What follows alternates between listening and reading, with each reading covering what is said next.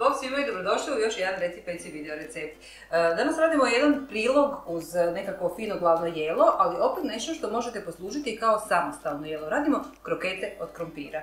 Znači, e, nešto sasvim obično, nešto uobičajeno, nešto o čemu možda i ne razmišljate, puno puta ste jeli, ali da li ste ih probali napraviti? Stvarno nije problem. E, mogu se napraviti od već pripremljena krumpir pireja koji vam je recimo ostao od nekog prethodnog ručka, ali ako ih baš poželite jesti e, kao prilog uz neko jelo, naravno da ćete skuhati krumpir i napraviti fine, fine krokete od krumpira sa svježe kuhanim krumpirom. E, ima nekoliko e, caka kako napraviti ovo, a da vam ispadne dobro. Znači, iako je jednostavno, može se dogoditi da kroketi ne budu dobri, da budu onako gumasti, da budu malo pretvrdi.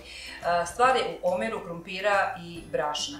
Znači, ja za ovaj put koristim 750 grama krumpira, vagala sam ga već izdruzganog, znači čisti krumpir, bez maslaca, bez mlijeka i bez ičega, 750 grama. Poželjno je da vam krumpir bude što suhlji. Znači, najbolje bi bilo da ga kuhate cijeloga u kori, pa da e, tek onda ga ogulite i druzgate, jer tada će imati najmanje vode u sebi. Znači, krompir mora biti što suhlji. E, koristim još oštro brašno. E, znači, na ovu količinu krompira 200 g oštrog brašna. 100 grama pšenične krupice ili grisa, iako ovo nije tako uobičajeno uh, za te krokete od krumpira, pšenična krupica, uh, primijetila sam svaki put kad stavim, uh, budu onako budu onako prozračniji i ljepši. Probajte svakako pa mi javite kako vam je ispalo. Treba nam još jedno jaje da to sve skupa poveže. Znači to. Solila nisam ništa zato što sam posolila krumpir dok se kuhao. Mislim da je sasvim dovoljno slavno i od toga. Prvo ću sve skupa izmiksati i povezati u kuhinskom stroju, a onda ćemo prebaciti ovdje na radnu površinu da još malo izmislimo rukama. Sada kada se sve ovako povezalo, idemo prebaciti na radnu površinu. Znači treba dobro, dobro pobrašniti da se sve skupa ne bi lijepilo. I izbaciti van.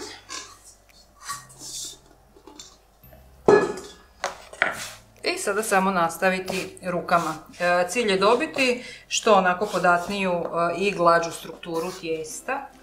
Znači i sad ako u ovom trenutku primijetite da vam je možda malo premekano, iako sam e, rekla točnu gramažu krumpira, može se dogoditi da vaše bude puno mekše od ovoga, to ovisi o vrsti krumpira. Znači na to vam ja ne mogu utjecati pa ćete morati procijeniti sami.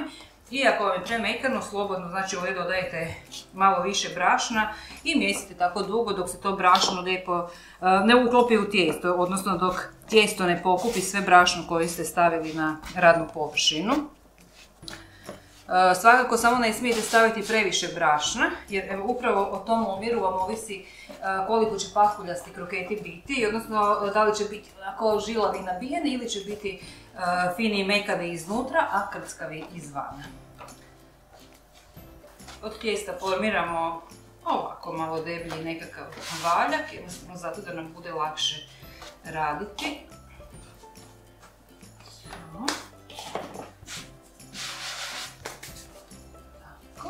Možemo prionuti na formiranje kroketa.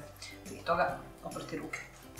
Sada ćemo od e, ovog uh, valjkastog oblika Znači narezat ćemo ga na, pa na ovako podjednake dijelove. Ne morate tu biti sad nešto precizni jer onako ćemo sad ovo razvaljavati u dugačke valjčiće pa nema veze. Znači najlakše vam je ovako s rukama jednostavno razvaljati i sada pripremite si malo krušnih mrvica. E, posipati radnu površinu sa krušnim mrvicama i lagano, znači samo ovako rukama uvaljati u krušne mrvice. Znači ja svoje krokete e, pržim, e, vidjet ćete kasnije, odmah u ulju, ne umačem ih u jaja pa u krušne mrvice. I onda na ovaj način ipak postignem to da se krušne mrvice uhvate na tijesto i oni budu onako fini i krckavi od tih mrvica. Tako da evo, to vam je jedan moj trik za izradu kroketa. Rezat ćemo ih znači, na otprilike evo, ovakve dužine. I to je to. Slobodno ih možete još malo ovako formirati glanovima odlagati na pripremljeni pladanj koji mi je posud brašnom kako se kroketi ne bi zalijepili dok stoje i čekaju da se svi drugi pripreme. Znači, e, debljinu kroketa opet možete sami odrediti, e, mogu biti malo deblji od ovoga, mogu biti, ali ne, ne bi bilo dobro da budu tanji. Jer e, ipak je to kroket, nisu to oni onako, e, nisu to šufnudle. Uglavnom ovo je krompirovo tijesto, vidjeli ste sada kad smo ga radili. Znači, isto ovako tijesto koristim za pripremu knedli sa šljivama, šufnudli, jastučića s pekmezom i slično. Znači uvijek koristim taj omjer tijesta i tada mi ispadnu najbolje. Znači svaki put ponovo malo mrvica, uvaljati tijesto i različiti u valjak.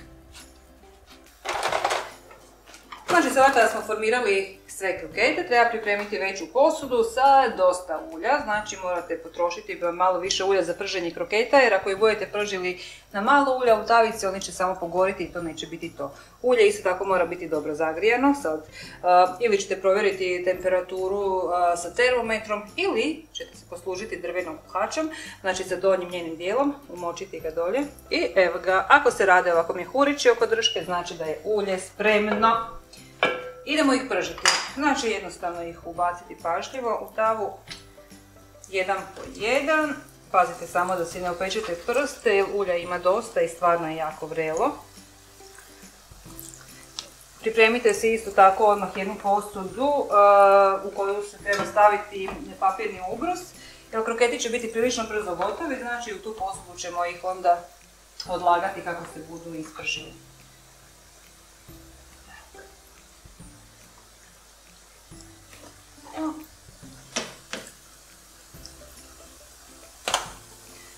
Znači, bit će im dovoljno pa jedno minuta i pol sa jedne strane i onda još isto toliko sa druge strane i moći ćemo ih variti. I evo ga, kroketići su se fino zapekli sa svih strana. Uh, ok, trebalo je malo više nego 3 minute što sam rekla u startu. Zašto? Zato što sam ih, puno sam ih stavila od jedan put, dok još ulje nije bilo jako, jako vruće. A što više e, komada stavite unutra, znači sa svakim komadom vi smanjite temperaturu tog ulja i onda im ipak treba neko malo duže vrijeme, barem u startu da se zapeku. Ali vidjet ćete i sami kad su gotovi, evo kad dobiju upravo ovakvu boju kao što ovdje vidite, znači fino, e, zlačano, smečkasto. Znači koristite se nekakvom šupljom žlicom da ih povadite van iz ulja. Znači probajte ih što više ocijeniti i naravno, kako sam i rekla, na papirni ubrus ih stavljati koji će opet upiti e, višak e, ulja i bit će onako laganiji za jevo.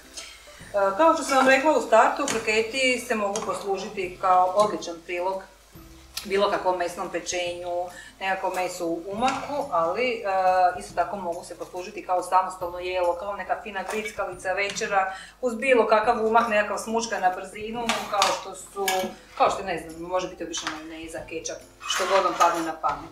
Uh, uglavnom, ja se nadam da ćete probati napraviti ove krokete što prije. Uh, javite mi kako su vam ispali, uz šta ste ih poslužili, da li ste možda nešto promijenili i stavili neki svoj tajni sastojak.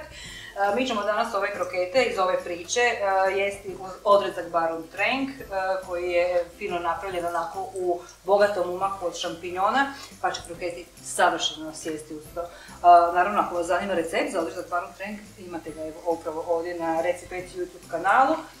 za puno više ostalih mojih e, video recepata, pa naravno pretplatite se na Recipeti kanal, budite s nama i neki sljedeći put. Ljudi, vidimo se tada, pozdrav svima!